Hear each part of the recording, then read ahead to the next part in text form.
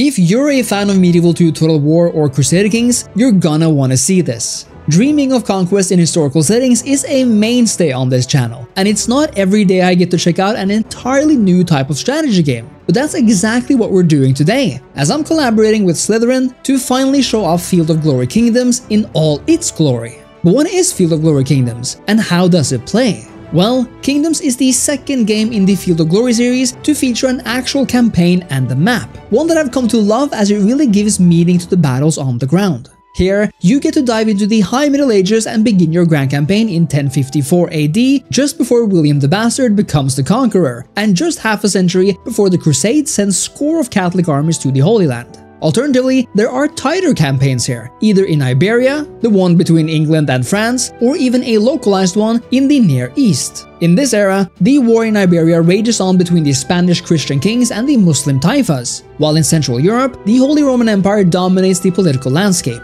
The Byzantine Empire remains a massive power on the crossroads between East and West, but powerful Muslim empires in the Near East threaten to upset the balance of power. In other words, it's the perfect time to dive into a turbulent period that's about to turn even more chaotic. But the fun part is that even though we can choose between major factions that were important to the larger events of this era, Kingdoms allows us to play basically any faction in the game, and notice the dedication to faction diversity and uniqueness here. No matter who you play, your duchy, kingdom, or empire will feel different not just based on their locations, cultures, and religions, but also because of their unique faction traits and situations. Indeed, the vast majority of factions are playable here, and all of them have their own special backgrounds. France, for example, is a petty kingdom, meaning it's rather small and weak compared to the more powerful realms out there. But on the other hand, you'll notice that France is also the overlord of three vassals. You'll get the context for the kingdom, telling you the history of the state and the situation it finds itself in, but when we go to gameplay, you'll get some really good tips about what to look out for. In a game that's deep and complex as this, it's useful to have some pointers on what to get to work on first. It is, however, in the last panel concerning modifiers that the most juicy stuff shows up, the unique faction features. For France, strong-willed vassals ensures more powerful subjects, but a more military-minded king for France itself. Late French culture gives among other things better chances of good relations with other factions and a much increased crusade duration, and knightly cavalry which reduces upkeep of knights. The Holy Roman Empire, however, has a ton more vassals, and even more modifiers, with most of them related to actually being an imperial member state. Of course, the king of modifiers might just be Byzantium with about a dozen unique attributes. Remember though that modifiers aren't just positive, but often post negative or risky sides as well, as evident with the Byzantine Empire, due to the likes of Imperial Restoration, which currently sits at the Crepit and gives penalties to several gameplay mechanics. Mechanics like these, which feature in smaller or greater numbers for every playable nation, makes Field of Glory's burgeoning kingdoms unique no matter where you play, whether it be as an Iberian reino, gaining authority as you conquer Muslim provinces, or as Anglo-Saxon England, where civil war lurks behind the death of a ruler due to inherent internal turmoil.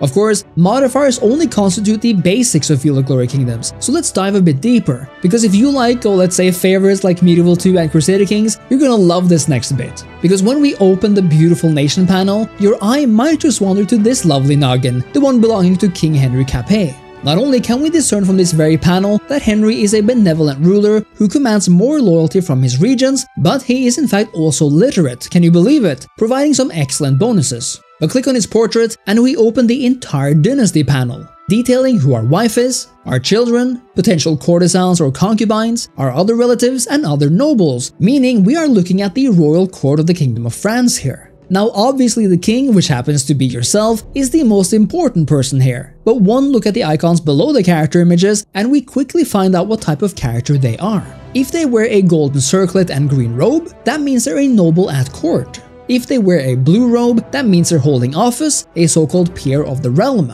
If they look like a bishop, that indicates they are a member of the clergy, and if any of your characters are dressed like soldiers, well, that means they're leading armies. Pretty intuitive all around. There is more to people than their station, however. Each male character had their own stat composition, ranging from administrative to military and pious affairs, even featuring their own offensive and defensive military skills, including one unique attribute per character. Combined, these will tell you which post they might be worth occupying, whether that be as governors of cities or as generals of armies. To spice things up, each character also comes with their own levels of health, meaning they might die or be killed, and importantly, their own loyalty status. This means that if you're not careful, characters may just end up acting against you and try to topple you. This comes alongside Field of Glory Kingdom's province system, where every region in the province has its own loyalty rating, alongside a slew of other factors. While loyalty on the character side is affected by things like your authority, which progresses over time if you're doing well, loyalty on the region side is affected by things like buildings, your region piety from churches and clergy, and importantly the various people in the region.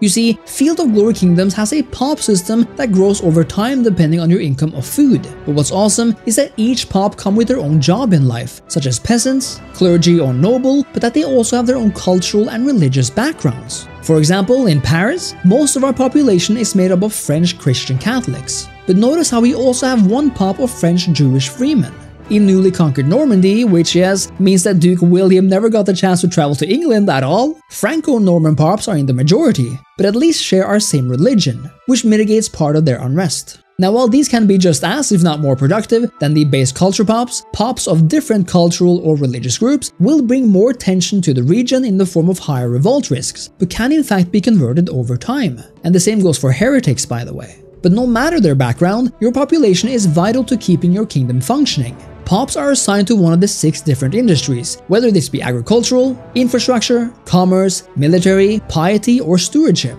You can see that every resource produced or lost by a region is ultimately reflected in the total accumulated value on the kingdom level.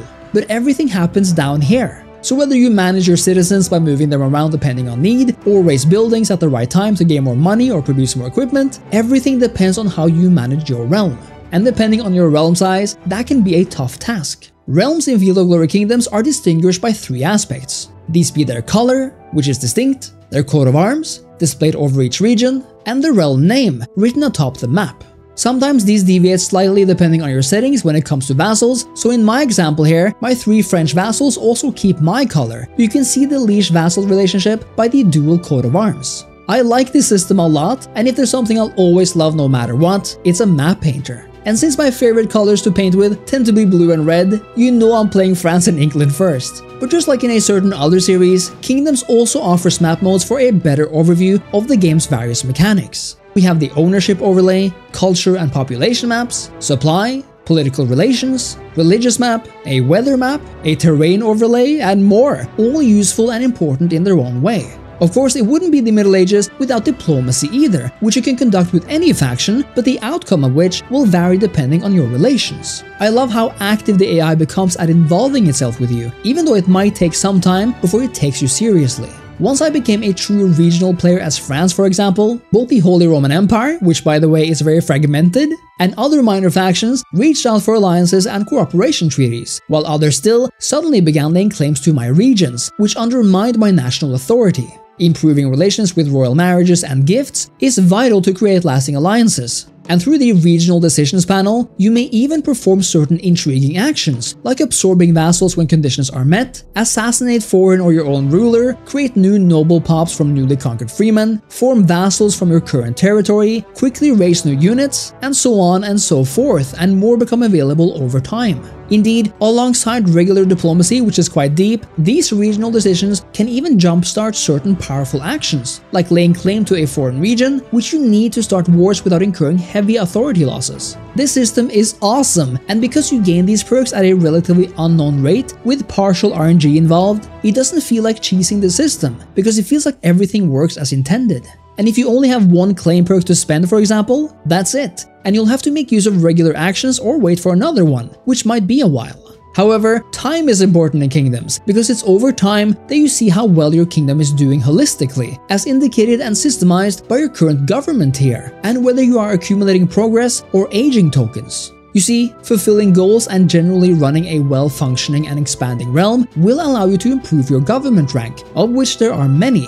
France, for example, begins the game as a young petty kingdom, but over time and with enough national authority, which is related to progress tokens, you can naturally upgrade your government here, to one day becoming various types of ascending kingdoms, monarchies, or even empires. but the higher you upgrade, the easier it is to fall back down, meaning Field of Glory Kingdoms offers a system that makes it inherently challenging to run larger empires, which makes the likes of the Byzantine Empire a tough faction to start as indeed. But when are they not, am I right? Especially because it was arguably the Byzantine Empire's request for aid which resulted in the First Crusade. And yes, religious wars are a big part of Glory Kingdoms too. A unique window keeps track of the religious battle between the supremacy of the papacy and the authority of Islam, these two waxing and waning depending on various actions in the game. At various points then, both jihads and crusades will be called, allowing you to join either side depending on your religion.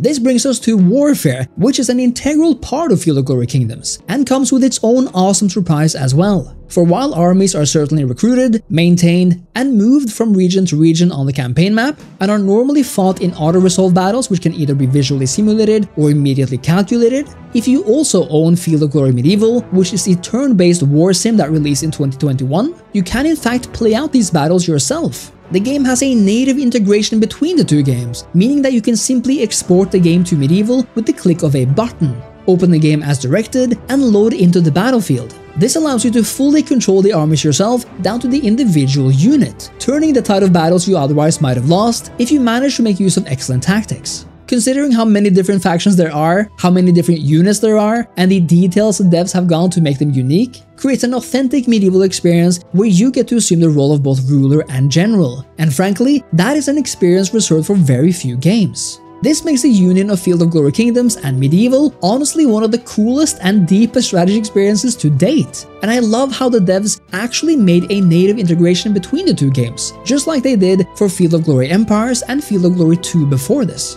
In other words, what we have here is a combined grand strategy experience and a full war simulator all in one if you own both games. It took me a while to become comfortable with Field of Glory Kingdoms, even after doing the tutorial, but you know, that is the mark of a great strategy game. And once everything clicked, I actually couldn't stop playing, just having to take that one more turn. I highly recommend buying Field of Glory Kingdoms on Steam, where it's priced at a very fair $39.99. Because even without the tactical battles of FOG Medieval, this is one of those grand strategy experiences that will stay with you, where you will sink deeper and learn more by every hour, and where the game opens up to you like a flower over time. And even though it differs in various aspects, I really got that feeling I got when I first played Crusader Kings 2, and that is a rare compliment. Let me know what you think of Field of Glory Kingdoms in the comments, and make sure to leave a like and subscribe to the channel. Thank you so much for watching, thank you so much to Slitherine for sponsoring this video, and I'll see you next time. Cheers!